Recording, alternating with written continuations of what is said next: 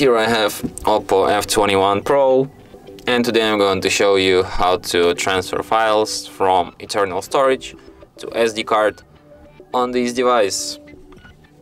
So firstly let's open settings, then, no wait, what am I saying? You don't have to open any settings, you have to open files application, which you have pre-installed on your device, my files.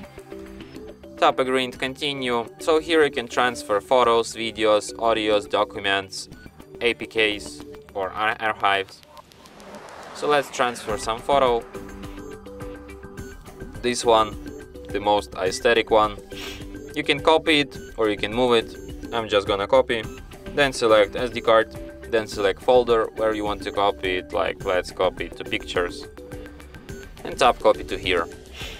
And now we can find this image on our SD card in pictures folder.